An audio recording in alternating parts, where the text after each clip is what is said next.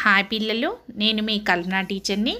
పిల్లలు ఇంతకుముందు సెషన్ నందు మనము రసాయన చర్యలలో రసాయన సంయోగం గురించి రసాయన వియోగం గురించి వాటికి సంబంధించిన కృత్యాల గురించి చర్చించుకున్నాం. ఈ సెషన్ నందు మనము రసాయన స్థానభ్రంశము మరియు రసాయన ద్వంద్వ వియోగము అనే రసాయన చర్యల గురించి మరియు వాటికి సంబంధించిన కృత్యాల గురించి క్షు- క్లుప్తంగా చర్చించుకుందాం. ముందుగా రసాయన స్థానభ్రంశము అంటే ఏమిటో చర్చించుకుందాం. రసాయన స్థానభ్రంశము అంటే ఒక రసాయన చర్యలో ఒక సమ్మేళనంలోని ఒక మూలకము మరొక మూలకాన్ని స్థానభ్రంశం చెందించి దాని స్థానంలోకి ఇది వస్తుంది. ఒక రసాయన చర్యలో ఒక సమ్మేళనంలోని ఒక మూలకము మరొక మూలకాన్ని స్థానభ్రంశం చెందించి దాని స్థానంలోకి ఇది వస్తుంది. దీనికి ఉదాహరణగా మనము లోహాలు ఆమ్లాల నుండి హైడ్రోజన్ని స్థానభ్రంశం చెందిస్తాయి. హైడ్రోజన్ కన్నా ఎక్కువ చర్యాశీలత కలిగిన పదార్థాలు హైడ్రోజన్ వాయువుని దాని స్థానం నుండి స్థానభ్రంశం చెందిస్తాయి. జింకు ముక్కలు సజల హైడ్రోక్లోరిక్ ఆమ్లంలో వేసి దాని నుండి వచ్చేటువంటి హైడ్రోజన్ వాయువుని మనం ఒక బెలూన్లోకి వచ్చేలాగా ఇప్పుడు ఒక కృత్యాన్ని నిర్వహిద్దాం. దాన్ని గమనించండి పిల్లలు. పిల్లలు రసాయన స్థానభ్రంశానికి సంబంధించి మనం ఒక కృత్యాన్ని నిర్వహిద్దాం ఇక్కడ. దీనికి కావలసిన పరికరాలు గమనించండి. జింకు ముక్కలు వీటిని జింకు ముక్కలు లేదా జింక్ పౌడర్ కూడా తీసుకోవచ్చు మనము. కొనికల్ ఫ్లాస్క్ షాంకో కుప్పే అంటాం. తర్వాత హైడ్రోక్లోరిక్ ఆమ్లం సజల హైడ్రోక్లోరిక్ ఆమ్లాన్ని తీసుకుంటాం. అదేవిధంగా ఒక బెలూన్ కావాలి ఈ కృత్యాన్ని నిర్వహించుకోవటానికి. హైడ్రోక్లోరిక్ ఆమ్లాన్ని మనం కొద్దిగా షాంకో కుప్పేలోకి తీసుకోవాలి. ముందుగా హైడ్రోక్లోరిక్ ఆమ్లాన్ని షాంకో కుప్పేలోకి తీసుకోవాలి. ఈ హైడ్రోక్లోరిక్ ఆమ్లాన్ని మళ్ళీ జాగ్రత్తగా పక్కకి పెట్టుకోవాలి. తర్వాత జింకు ముక్కలని ఎప్పుడైతే హైడ్రోక్లోరిక్ ఆమ్లం జింకు ముక్కల్లో వేస్తామో వెంటనే బుడగలు వస్తూ హైడ్రోజన్ వాయువు విడుదలవుతుంది. అందుకని బెలూన్ని దానికి దగ్గరగా ఉంచుకొని పిల్లలు గమనించండి. ఇది హైడ్రోక్లోరిక్ ఆమ్లము. దానిలో నేను ఇప్పుడు జింకు ముక్కల్ని వేస్తున్నాను. వేయగానే ఇది చూడండి గమనించండి పిల్లలు బుడగలు వస్తూ ఒక వాయువు విడుదలవుతుంది కదా.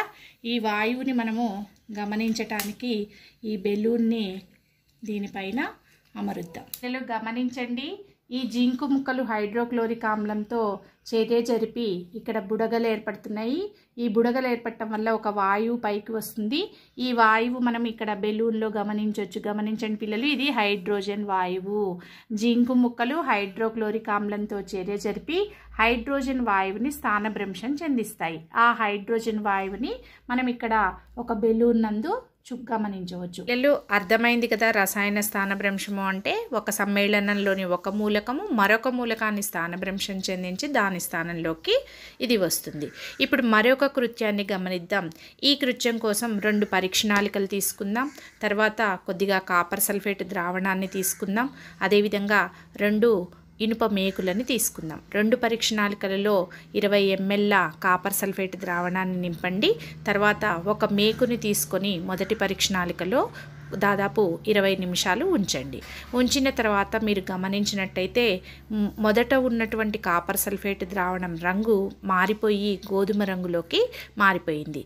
దీనికి కారణము ఇక్కడ రసాయన స్థానభ్రంశం జరిగింది. రసాయన స్థానభ్రంశం జరిగి మనకి రసాయన చర్య ముందు ఇనుము మరియు కాపర్ సల్ఫేట్లు రసాయన స్థానభ్రంశం జరిగిన తర్వాత కాపర్గా ఐరన్ సల్ఫేట్గా మారిపోయాయి. ఈ కృత్యాన్ని గమనించండి పిల్లలు.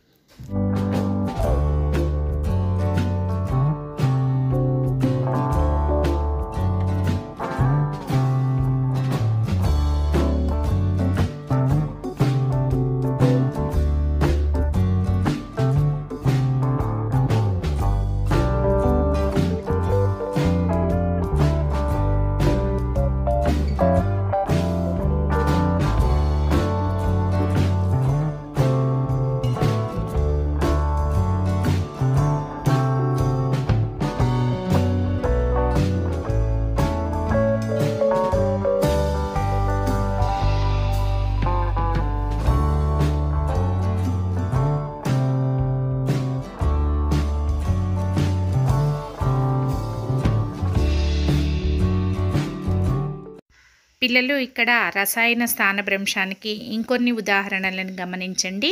జింకు సిల్వర్ నైట్రేట్తో చర్య జరిపి సిల్వర్ని స్థానభ్రంశం చెందిస్తుంది. అదేవిధంగా లెడ్ కాపర్ క్లోరైడ్తో చర్య జరిపి కాపర్ని స్థానభ్రంశం చెందిస్తుంది. మరి తదుపరి వీడియోలో మనము రసాయన ద్వంద్వ వియోగం గురించి దానికి సంబంధించిన కృత్యాల గురించి చెప్పుకుందాం. ధన్యవాదాలు పిల్లలు.